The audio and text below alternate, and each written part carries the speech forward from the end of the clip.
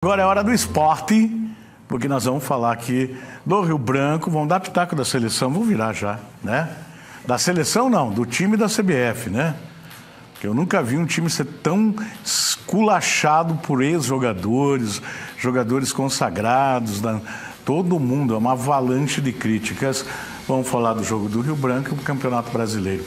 Tudo bem, meus queridos amigos? Tudo bem, Toninho. Boa tarde para você, boa tarde, meu amigo Valdinei. E é claro, boa tarde especial para o público de casa. Sempre um prazer enorme participar aqui no Voz do Litoral, trazendo informações sobre esporte, principalmente sobre futebol, né? E, Tony, é muito importante tocar nesse assunto. Eu acredito que o Valdinei também é, concorda comigo, porque a gente já teve essa conversa previamente em outras oportunidades.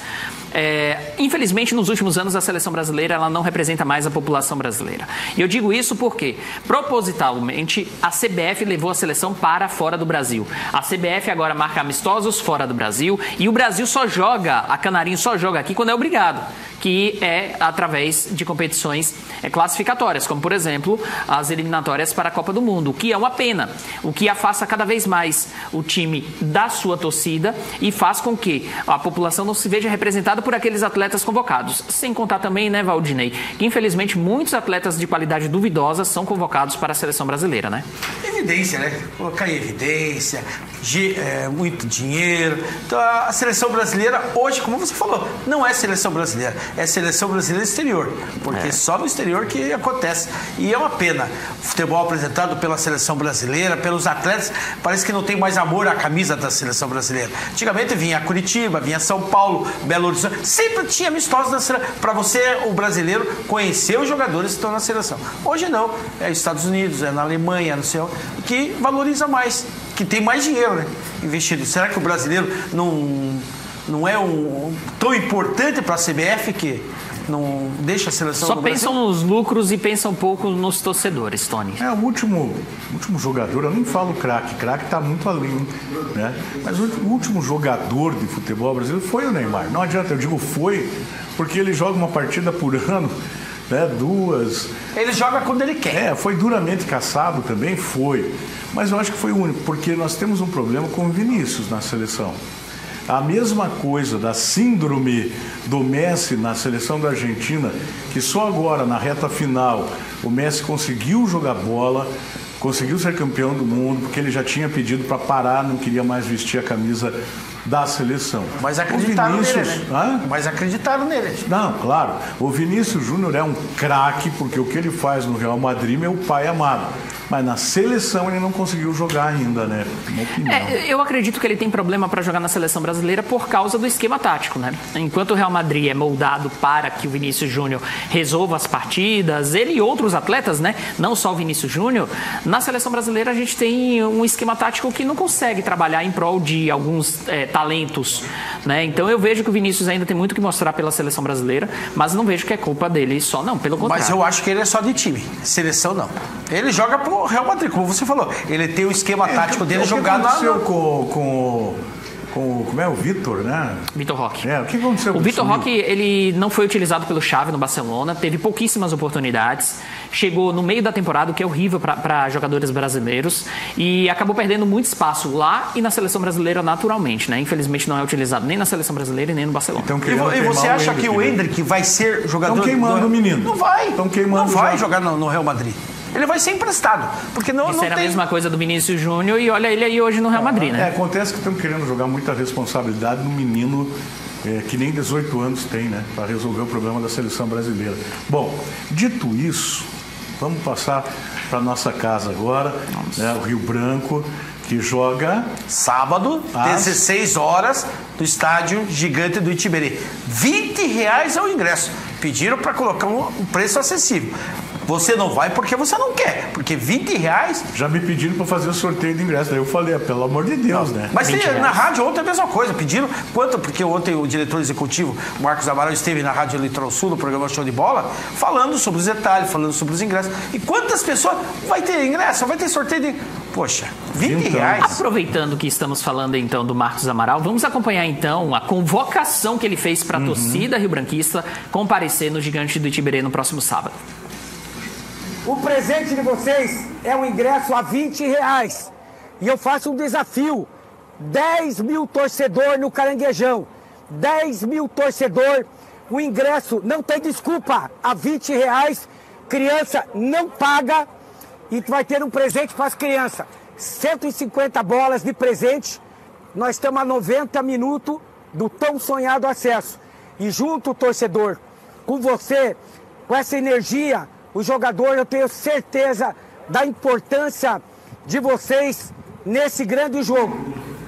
Aí a convocação, então, do executivo de futebol do Rio Branco, Marcos Amaral, uma convocação necessária, mas nem deveria ser preciso, né? A 20 reais, essa promoção, o torcedor ele tem obrigação de comparecer em peso ao gigante do Itiberê. É um jogo muito importante, é um jogo decisivo. Se o Rio Branco ganhar, volta para a elite do futebol paranaense. Ah, vai disputar a final da Série B. Sendo bem sincero, sendo bem honesto, claro que chegando na final, o ideal é ser campeão. Mas isso aí fica em segundo plano. É. O ideal mesmo é voltar para a elite do campeonato estadual. Vai voltar a Série A, muito, né? Já tá esse, o, time, o Rio Branco não ia ter time, Tony. Não. O Rio Branco não ia disputar esse ano, Exato. não tinha como. Praticamente ia fechar as portas. Bom, o Marcos Amaral veio, abraçou a calça sim. e deixou, trouxe. Toda a correria até é. agora foi para justamente chegar nesse jogo de sábado. Exato. Né? Ganhou, pronto, acabou. Eu acho que o compromisso de voltar. Tá no acesso, tá, tá tranquilo. Tá aí, aí, e a chuva não pode ser desculpa, hein? Não, Tem que comparecer. Não, nós vamos ter que encher. Ontem eu tava até, ontem eu fui até a secretaria do clube, nós fomos fazer uma matéria lá. Tinha pessoas que compravam 50, outro comprava 20, outro As empresas estão tá ajudando. Isso aí que é para fazer, isso é para ajudar o Rio Branco. Pensar na vida do Rio Branco, pensar que o time do Rio Branco não era nem para ter saído da primeira divisão. Então agora voltando à primeira divisão. Então o torcedor tem que ir, né? Eu tenho até um tênis vermelho que não é do Marcos Amaral. É meu. Aquela camisa rosa dele também ele dá sorte. Eu ganhei né? uma camisa do Rio Branco. Aqui oh, também, né? Oh. Tá, a Camila falou em rosa, ele já mostrou que vai ele tá... Aqui vai uma galera, né? Como sempre, tá, Tony? Uhum. Vamos com frequência ao Gigante de Tiberê. Hoje eu estava conversando mais cedo com o Bruno, Bruno Inácio, que está aqui nosso cinegrafista. Nós dois já confirmamos é, presença e outros talvez também confirmem presença, porque a gente sempre tem uma torcida organizada da TVCI, né? Até a, a ala brinca. feminina, né? Até a ala feminina vai. Não graça não, viu? Tá? Não, não, não. A gente paga, tá? A gente nunca entrou no, no, no estádio. Na fachola. Se então, não for um trabalhando, a gente nunca gols foi. lá do Rio Branco tem imagens aí. Vamos acompanhar então imagens do empate. Porque o Rio Branco chega a essa decisão, Tony, a essa segunda partida da semifinal, depois de empatar com o Paranavaí. E não teve medo, tá? tomou o gol é, é, dos donos da casa. Dudu. Mesmo assim, Dudu. Mesmo assim, o Rio Branco foi para cima. Eu conversava com o Valdinei aqui, eu falei: hoje você vai dizer que o Rio Branco mereceu perder porque não mereceu. Não, e a gente concordou. Mereceu, o Rio Branco jogou muito bem. Merecia até vitória. Isso que eu ia falar, merecia até um resultado melhor. Não se intimidou com essa torcida aí do Paranavaí. Mas a gente tem que fazer aqui no Gigante do Itiberê o Paranavaí se intimidar com a torcida do Rio Branco. Fazer os deveres de casa. Exato. Os deveres de casa você tem que vencer. Né? E se empatar, vai para os pênaltis. E a então... frieza dessa finalização no finalzinho do jogo, hein? Mas a jogada do Saci também. Foi linda. Né? E uma coisa, hein? A, a, o final de tudo isso daí já tem uma eu tenho certeza que cinco, seis jogadores têm já. É, ontem ele comentou sobre esse assunto. Né? Já tem especulação, já era, já tinha dois outros jogadores, já era para ter saído. Ele segurou, falou: depois do, do término do campeonato, aí vamos sentar, vamos ver a programação por que vem, se ele vai ficar, se não, se vai ser. Então, mas, sinceramente, tem que ficar para ajudar o Rio Branco. Tem que, Bom, se lá deu 6 mil pessoas, aqui tem que dar pelo menos oito, né? 10. Eu também. Eu vou calcular 10. Acho que chegou a hora. Né? Torcedor pediu, torcedor exigiu que não poderia parar, ele aí colocou, trouxe jogadores, trouxe jogadores que estavam em evidência em outros campeonatos para fortalecer essa equipe. Vamos para o Brasileirão, então? Vamos, vamos ver, então, a classificação do Campeonato Brasileiro, porque temos, então, nessa rodada algumas mudanças e três times que já foram campeões nacionais estão, então, na zona de rebaixamento, tá? A começar pelo Fluminense, que é o último colocado, continua aqui nessa zona e parece não ter forças para sair. Aí vem o Atlético Goianiense, esse nunca ganhou o título nacional, Grêmio e o Corinthians na sequência. Destaque aqui, eu preciso destacar isso, tá? Vitória, que ganhou mais uma vez 15 pontos. Também destacar aqui Vasco da Gama, que voltou a vencer 17 pontos e dá um respiro aí Mas na luta que contra o rebaixamento. destacar o Vitória? Porque eu sou torcedor do Vitória, ah, Da Bahia, né? Não, Esporte Clube Vitória. Tá. Valdinei, como é que tá aí a zona de classificação para Libertadores? Se o campeonato terminasse hoje, o Flamengo seria campeão, tem 31 pontos. Segundo lugar, Botafogo, um sonhador, com 30 pontos. Terceiro lugar, Seleção, Sociedade Esportiva Seleção Verde, 30 pontos. E em quarto lugar, o São Paulo, com 27. Bahia em quinto e Bahia Atlético de Salvador. Paranaense. Bahia de Sa- É, É, tem Clube Bahia, de Feira de Santana, Bahia É, de Salvador. Bahia de Salvador. Viu? Bahia em quinto com 27 e o Atlético Paranaense em sexto estariam na pré-Libertadores. Exatamente. Ah, Vale reforçar, né? Mais uma ótima campanha do Atlético e depois que saiu o Cuca, Ótima. duas vitórias, hein? Ótima. Não é? Contratou já, né? Contratou um treinador. Contratou um treinador muito jovem, 31 anos. Era auxiliar, né? É, que vem pra. Mas já tinha subido o time principal lá, né? E vem pra. Vem pra oxigenar ali o, o Atlético Paranaense. Tem O Cruzeiro também está fazendo uma boa campanha. Exato. O Cruzeiro tem que. Tem tá. mais telas pra gente Temos ver? a próxima rodada do Vamos lá, Campeonato então. Brasileiro. Já começa amanhã a próxima rodada, hein? Valdinei, Um, clá- um clássico, hein? Grêmio e Cruzeiro. clássico de copeiros, né? Tem também Vasco e Fortaleza. Clube Atlético Paranaense e Bahia. Opa, eita, vamos furacão. Na quinta-feira tem Palmeiras e Atlético Goianiense. Flamengo e Fortaleza. Cristo, tá né? errado Flamengo e Fortaleza, porque tem Vasco e Fortaleza, É Flamengo. verdade, tá errado aqui, não é Flamengo e Fortaleza, não.